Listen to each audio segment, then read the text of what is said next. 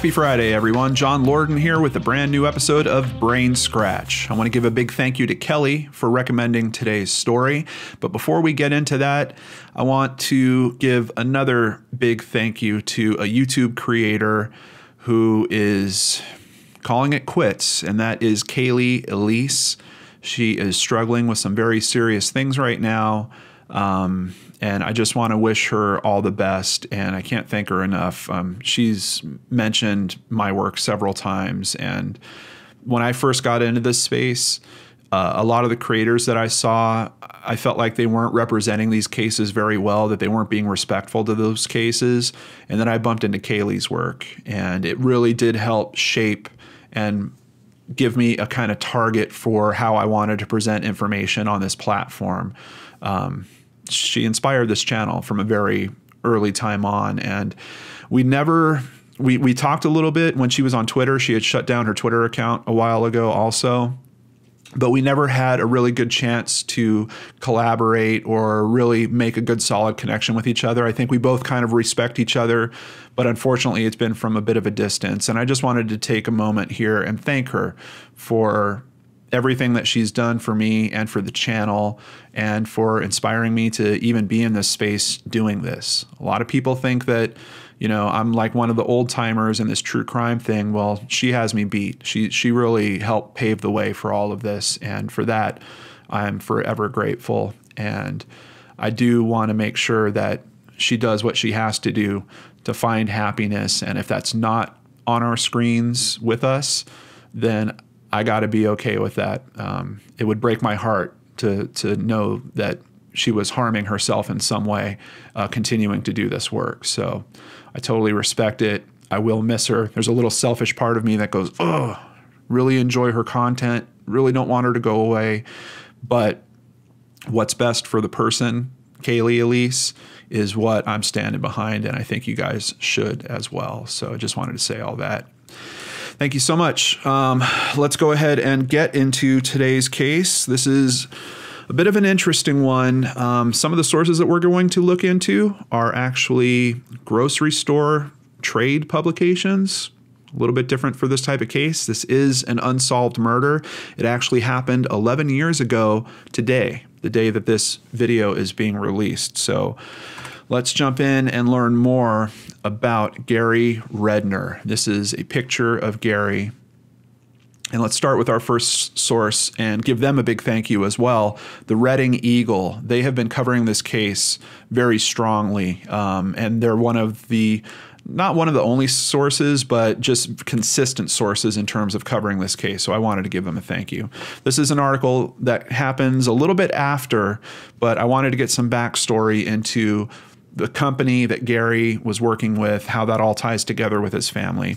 Redner's Markets, 40 years strong, and this is February 28th, 2010. 40 years ago, Berks County in Pennsylvania welcomed a new supermarket chain.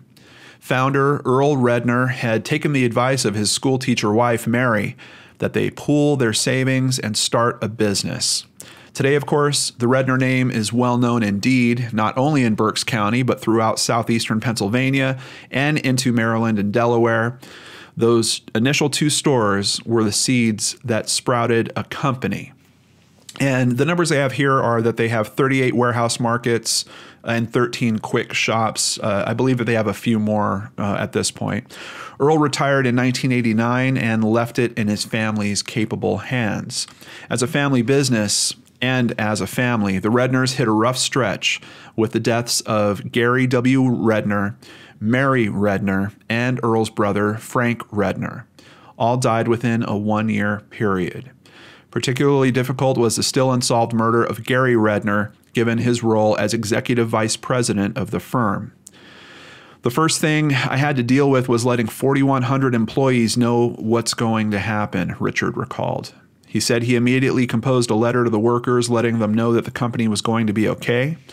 Gary M. Redner already had been working for the company. That is Gary W.'s son. And Richard said he brought him and Ryan in to let them know he was there for them. I said, We'll have to pedal a little faster than we have been, but we'll get there, Richard said. Richard, who did not want to otherwise discuss the murder, acknowledged that things were rocky at first, but that the company has rebounded. So you can see there's a little bit of an interesting dynamic here because it's almost like the family and the business are really combined. You've got so many family members that are working within the business that the lines between what is family and what is business seems a little bit blurry in this case. I mean, even the way you're hearing that Richard, you know, brings Gary Jr. into his office and tells him that we'll be there for him. I mean, that that sounds like something your boss might tell you that is not related to you. Um, almost, I'm not saying that it's impersonal. I'm just saying it just sounds more like an employer-employee type conversation. But I also get the sense that Richard is being pretty tight-lipped about what has gone on with this case in particular, and that's one of the challenges about this case and why there's such there's there's very little detail out there about what's really uh, what the logistics of this case are a lot of people seem to be really tight lipped about this case. But let's see what we can learn as we continue here. Going on to the first source that uh, you might be surprised by progressivegrocer.com.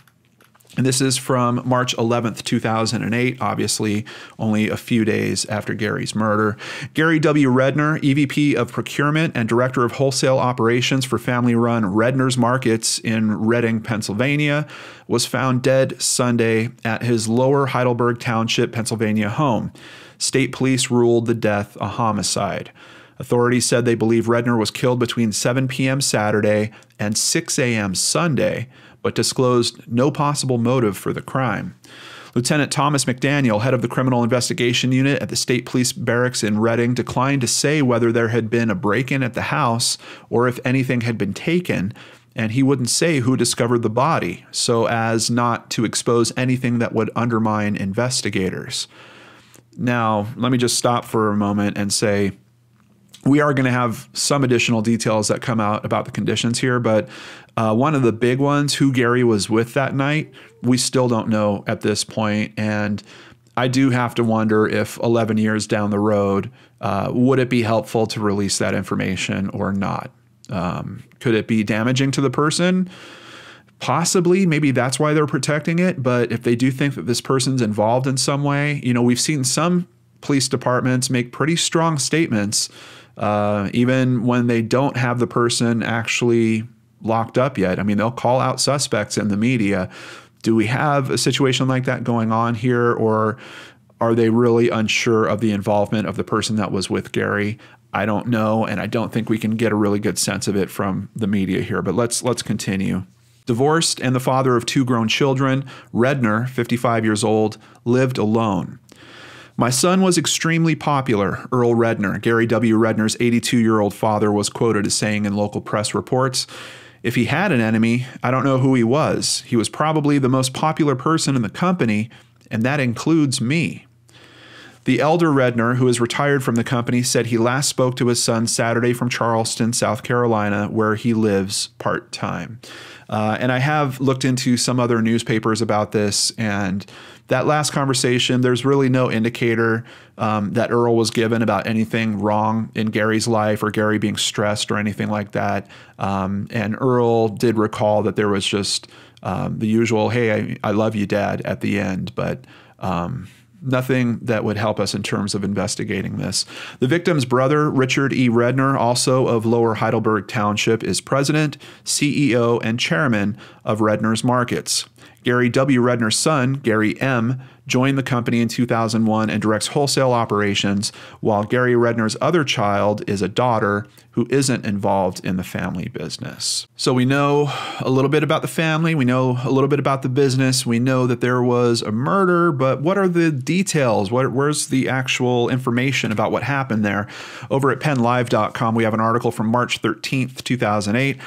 Redner executive was beaten to death, police say. The body of 55 year old Gary W. Redner was found Sunday morning outside a neighbor's house in Lower Heidelberg Township. Redner had been in Ganley's Pub and Restaurant less than a quarter mile from his house on the night before he was found dead, but authorities say they are not aware of any trouble at the establishment before he left. And I've seen several sources say that, and obviously that would be kind of where my mind would first go also you know, he he's found dead coming home from the bar. Well, let's go to that bar and let's talk to people. And did they notice him arguing with anyone? Did they notice anyone follow him out? Anything along those lines? The only sense that I have from that angle in terms of, of investigation on this case, we're going to find out at the very end of this video. It's information that just came out a few days ago. But I do think um, I, I, w- I just wanted to point out to you guys that they're being very clear. There was nothing that happened at the actual bar that they believe is related directly to what happened to him. And he was actually found in his neighbor's driveway uh, which is a little bit odd, you'd think, if he was heading home. And I wasn't sure initially if he was walking home because we're only talking a quarter mile. Let me go ahead and bring up a map so I can kind of show you guys what I'm talking about here. Uh, first of all, here is Ganley's Pub and Deli, according to the sign. But if we take a look at this area, um, you know, we got some homes over here on the left, but then a lot of open land past that.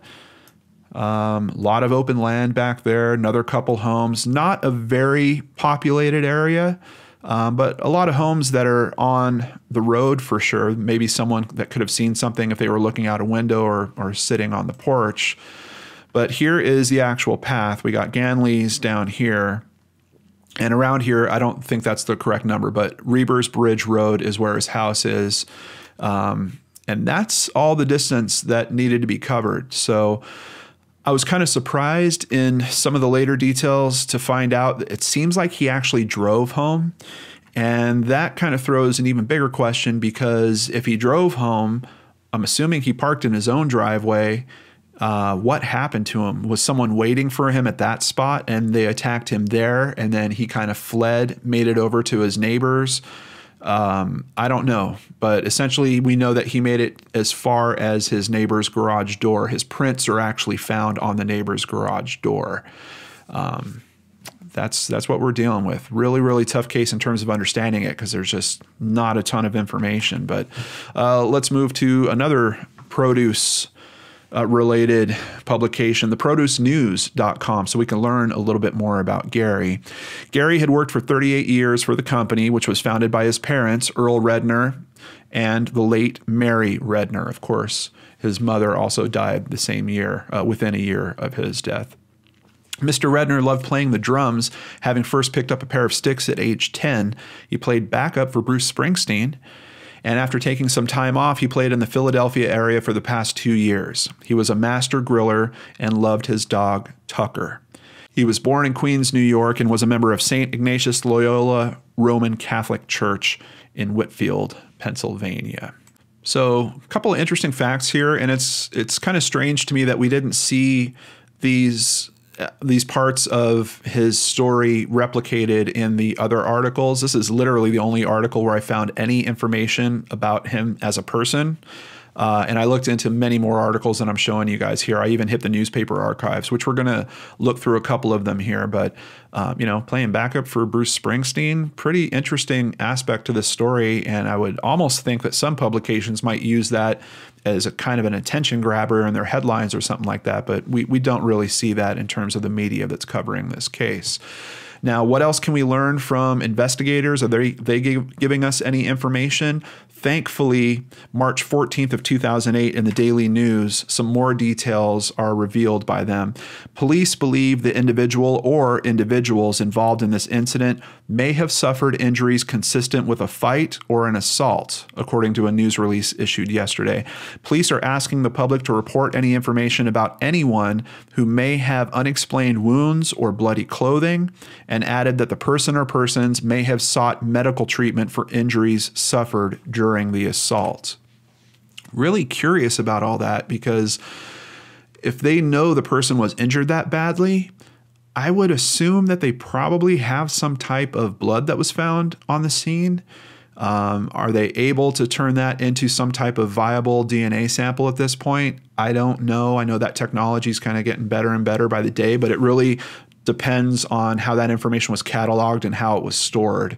Um, but for them to be saying that, that they're, they're pretty sure that this person was pretty severely wounded, um, tells me there's probably a good chance that there's some type of um, biological element that's been left behind. And if there is, could that potentially give them a sample. One year later, another article is put out by progressivegrocer.com, and here we learn that Redner had been bludgeoned with an unidentified object. Physical evidence recovered from the crime scene is still being processed at state police forensic labs. Troopers from the crime assessment section are developing profiles of potential suspects, and techniques including surveillance of people under suspicion are being employed. So far, over 100 people have called a tip line about the Redner investigation. Please continue to seek information about a white work van reportedly in the vicinity around the time of the murder. And once again, I'm just surprised that progressivegrocer.com is providing information that I'm not finding at the legit news sources. So I don't know if that's a good thing in terms of at least they're getting it out or is it that this information isn't super reliable? This is the only place where I found this info, but apparently police are seeking information at this time about a white work van that was seen around the time of the murder. Now, if it's hardly mentioned as it has been by the other publications, obviously I can't find any follow up to this, so I don't know if this is a lead that was exhausted. Keep in mind, this is news back from you know 10 years ago, 2009 at this point. Now we start seeing uh, what becomes an annual event to honor Gary in the publications. Here at the Philadelphia Daily News for May of 2009, we see that there is a memorial 5K race and fun walk that is being held June 7th uh, in Gary's honor. And uh, that's just the first of several different ways that his life is honored. Uh, something else very interesting here you have a man that was an executive and a family that appears to be doing pretty well with their business. You also have a community that really rallied behind this. And within just a few months of his murder, the reward jumped to over $100,000. So here, as of June 3rd, 2009, the reward increased to $111,000. We hope this reward increase will attract more tips that could lead to arresting Gary's killer, said Barry Rohrbach, president of Crime Alert. It's been too long for the Redner family to suffer, not knowing who committed this heinous crime. Someone is out there walking free. We want that person behind bars. Uh, and this is back in 2009. We've got now, he's absolutely right about those feelings. And we're now 10 years past that, that this family has been suffering and looking for answers in this case and the media kind of dries up. Uh, you know, there's there's pretty good coverage for the first year. Most of the articles are about people contributing to the reward and the reward increasing. Uh, not a lot of details in terms of the investigation. We've covered basically all the details, and I've even given you just a little bit more than actually came out in that first year. So it takes a good five years before all of a sudden there's another little jump of information, and that comes out courtesy of WFMZ.com, March 8th, 2013. This weekend will mark five years since one of the most high profile murder cases happened in Berks County. The case is active and tips are still coming in, with the latest one being received just last week, said police. Inside Ganley's pub and restaurant was the last time he was seen alive, said District Attorney John Adams. It was a very stormy evening. So it's interesting to me that none of the previous publications even mentioned that. And that kind of explains a little bit the fact that he would have driven only a quarter of a mile from what seems like it's his local bar uh, to get home. Um, and also could explain why some of the evidence might be a little harder to collect or maybe harder to process. Uh, if it was a stormy evening and it was wet and it was rainy, was some of the evidence kind of washed off or diluted a bit? Um, might be a bit of an issue in this case as well. Family members told 69 News he was brutally murdered lying in a neighbor's driveway and his fingerprints were found on their garage door. Redner's house was locked, and family members believe he never made it inside. So, just hearing that description, I think we've got one of two things going on. Uh, the possibility is he was with someone at the bar, someone that was with him in the car. Maybe they got into some kind of argument when he got back and they got into a fight in his driveway and things went very, very south from where they should have. Uh, or we've got another potential situation where someone is waiting at his house. Now, if that's the case, um, you know, there's there's not a lot of homes around where he lives. It's it seems like it's a really nice community. It overlooks a lake. If someone was going to be waiting at his house, I don't think it'd be reasonable that they would like park in his driveway. So I would think their vehicle would have a good chance of being spotted somewhere else. And is that perhaps the white van? Was there a white van that was seen parked, you know, close to a neighbor's house or something along those lines? Um, I don't know. I would just think that if you are going to attack someone like that, you're going to hide your vehicle so they have no idea that there's anyone around their property, and then you know, kind of surprise them uh, once they pull in. So that's kind of what's going through my mind. Two possibilities: either person's with them, and they got into a fight and it went south, or someone was waiting for him. He got home and he fell into what was effectively a, an ambush of some kind. Redner died of blunt force trauma to the head, said police. Five years later, investigators haven't stopped. Billboards are posted throughout Berks County, and state police have binders stacked with nearly 1,200 pages detailing the investigation. Search warrants and autopsy reports remain sealed. According to investigators, they have worked with three different forensic pathologists. Uh, they also mentioned that the investigation has led them to several different states. They talk about uh, Pennsylvania, New Jersey, North Carolina, and Maryland, but those all seem to be dead ends. Investigators said they need more information and believe someone out there knows something. Even the smallest tip could help, and they want people to come forward to help close this case. And of course, you know, that's a big reason of why I'm here doing this, trying to raise exposure to these cases. If you happen to have information about this case, maybe even if you've called it in before, there's a new investigator working on it now. Please use the contact information that I have in the description box below and send that info in. You never know, it, it might be the info that cracks the case. And if that is true, you might wind up with a substantial amount of money. Over at Reading Eagle, September 3rd, 2015, reward rises to $125,000. For more than seven years, Gary Redner's killer has remained a mystery. Hamid B. Chaudhry is doing his best to change that. Chaudhry, owner of two local Dairy Queen restaurants, knew Redner and remembers him fondly.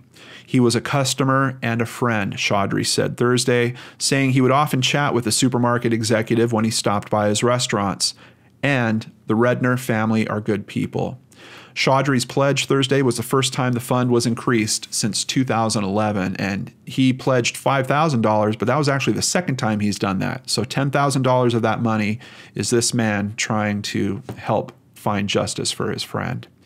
We've got to keep it fresh in people's minds, Chaudhry said, adding that he worries about the case going cold. The Redner family has been a family involved in the community forever. This is the least the community can do for them. Local paper The Morning Call on the 6th of April 2017 has this article with a big picture of Gary's father, Earl, and unfortunately, Earl passes away from potato bagger to the chief.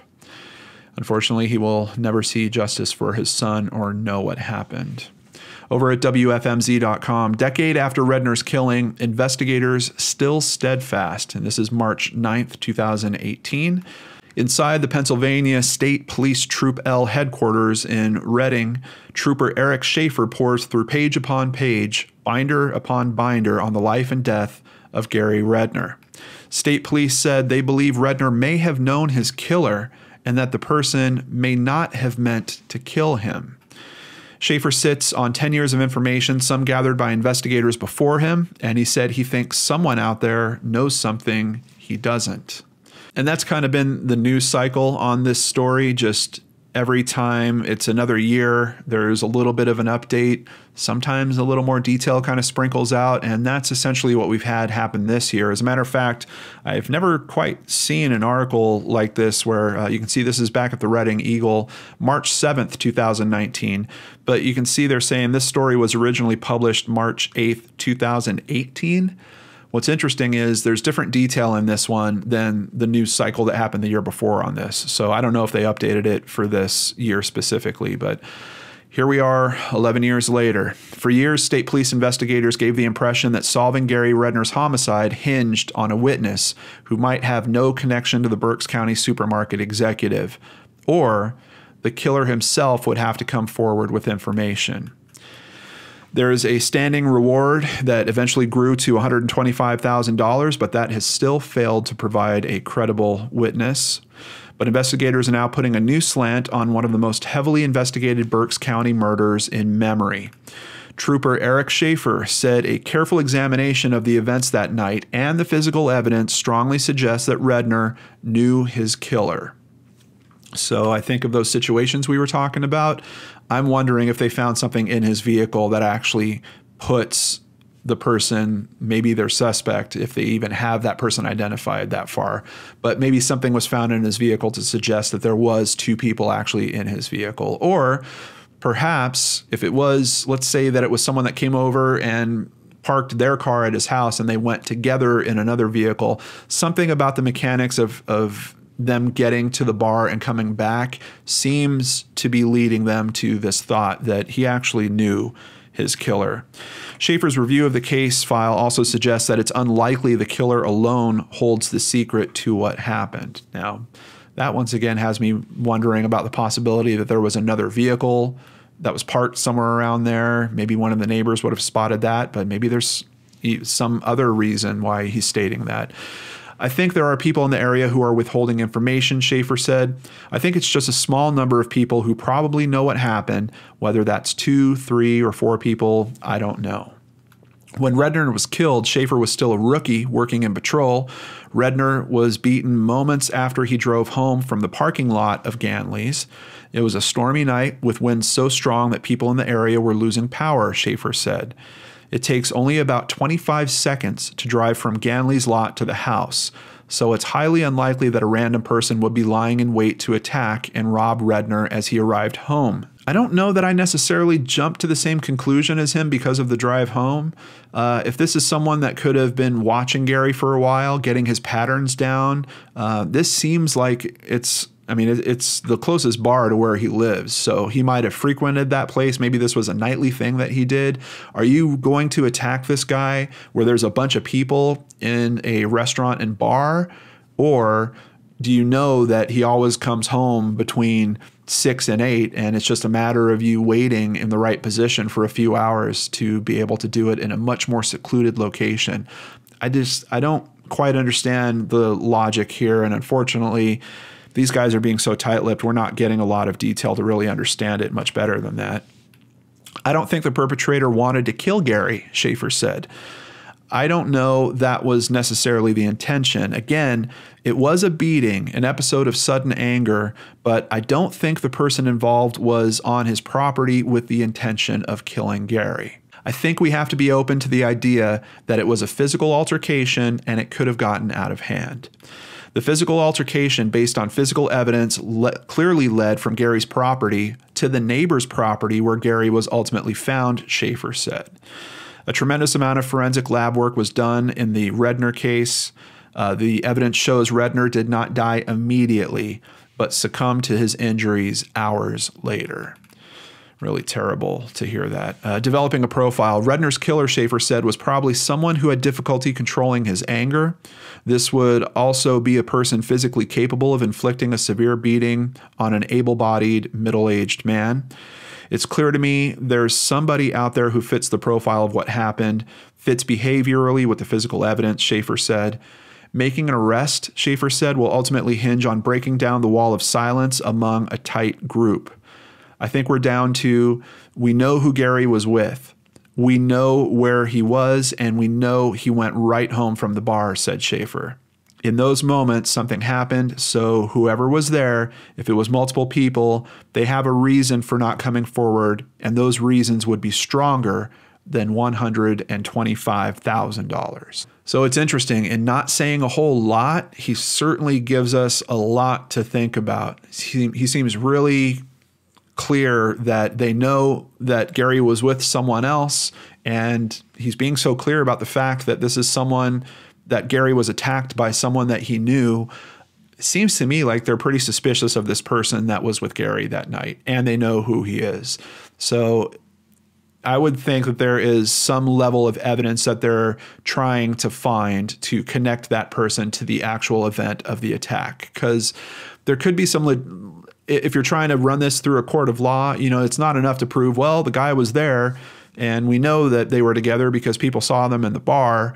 Yeah, but Gary could have driven home, dropped the guy off at his car, or the guy could have separated from Gary after the bar. There's still kind of looseness to the story. So there might be some elements that they're looking for from the actual scene. I also find it interesting. He's talking about this attack going on, starting at Gary's and going on all the way to his neighbor's home and neighbor's driveway. And then we know that they find Gary's prints on the neighbor's garage door and that Gary didn't die immediately. This guy is, it's just, it's a terrible, terrible explanation of, of these events. And I really wish we had better detail so we knew precisely what to ask the public for in terms of tips on this case. But I'm giving you guys the best that we've got on it. Uh, so, a few different ways that Gary is honored. Of course, we did mention the 5K event, and here is uh, Republican and Herald from the 29th of April 2018. And we can see in the paper they are advertising the 10th annual Gary W. Redner 5K. So this is now an event that has been going on for a decade. I would expect that they're going to have it this year as well. Uh, also found this article at Reading Eagle. Crime Alert Berks County celebrates 20th anniversary, and there's some mention of uh, Gary's case here. And we can see this picture where Redner's Markets are writing a check for over $16,000 to Crime Alert. The value of the organization, which pays reward money for tips in some criminal cases, can't be overstated, supporters say. Eric B. White, Director of Marketing for Redner's Warehouse Markets and a former Crime Alert board member, presented Crime Alert with an oversized check for $16,350 on behalf of the Berks County based supermarket chain. Redner's has donated nearly a half million to Crime Alert over the years. Funds generated by corporate events, such as an annual golf tournament for company officials, vendors, and business partners.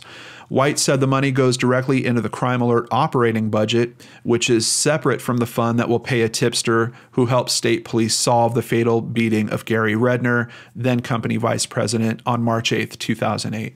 And I actually found an article about that. Um, they even had to change their processes because they didn't want to lump in the money that was being donated for Gary's reward with the rest of their operational funds and all that. So they started an escrow account specifically just for money related to Gary's reward. White said Crime Alert's operating budget is what fuels the Crime Alert engine that has been credited with helping law enforcement make more than 600 arrests. And, you know, we're always trying to find the bright spots in these stories, these tragedies, and how they motivate people to honor those victims. And here are just a few examples of that. Of course, now we get to the point I've already kind of told you some of the conditions that I think are involved with this crime. But what are the rumors out there? What are people talking about in terms of theories on this? There's really only a couple threads. One of them is at Web Sleuths, and I think it's literally just three posts. And, you know, Web Sleuths, um, there's usually a lot of good sources there, but it's not necessarily the biggest rumor mill. It kind of depends on the case, I guess, because I do see some that go that way. But Reddit has a bit more of a rumor mill kind of spinning on this. And I don't want to go into it too deeply, but I just want to tell you guys what people are talking about in terms of theories on this case. Uh, here we have a poster named Sig3Net. I'm thinking violent carjack gone wrong. Interesting thought. Um, and even to the investigator's point about, you know, it only takes 25 seconds for him to drive home. So I don't think that the person was waiting at his house Maybe it was someone that came across him in the parking lot or someone that was waiting by his vehicle and they got into his vehicle and left from there. Um, but then why did Gary drive him home? Did the person force him to? Was it at gunpoint? But there was no gun that was used in the in the violence of actually harming Gary. So does that really make sense? I don't know. It's certainly a theory worth kind of kicking around, but I'm not sure how strong it is. Um, they also mentioned that a commenter over at um, Topix, which doesn't have those postings anymore, said said this. So I tried to find the original source, but Topix has dropped all their old postings. Word on the street before he was killed was that he was an alcoholic and womanizer, probably messed with a cop's wife. They protect their own, hence why no one has been apprehended. So definitely got to take that with a huge grain of salt. Word on the street, um, and I, a lot of cases I look into, this is a theory that pops up in many of those cases. This is just kind of a, I don't know, I don't know if it's a fear of people of why that keeps getting attached to these stories, but uh, it does come up quite a bit in in my work. I live about 10 minutes from where this happened. I definitely say it was probably a professional hit. That's just a guess. There really never was as many details released about the investigation. Could it be a professional hit? I'm not sure. Um, we're not talking about a single gunshot type situation. Uh, and maybe they wouldn't do that because they didn't want to be heard. But if this is a professional, he's letting his victim go all the way from his house over to his neighbor's and up to his neighbor's garage door.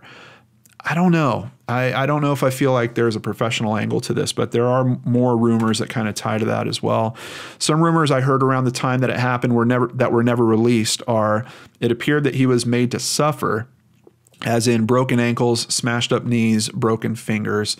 We have no information that confirms any of that. Of course, we don't have a whole lot of information at all. Um, the autopsy report not available from anything I could find and all that we've heard in the official reports are uh, basically severe trauma to the head with some type of unknown object. Uh, rumor number two his company was in the process of possibly opening up some supermarkets in a part of Jersey, and the local mob was none too happy about it. I've seen mob references in a few different instances with this particular case, but once again, I'm just struggling. I'm struggling thinking this was a professional hit. Um, it seems just too messy. Just and and you know his neighbor isn't that far away, but it's just it's still too much of a distance. If you're really trying to contain a situation and be a professional, get in, get out, just get the job done. I don't see this bloody fight that went from one house all the way over to another. Um, it just I don't know.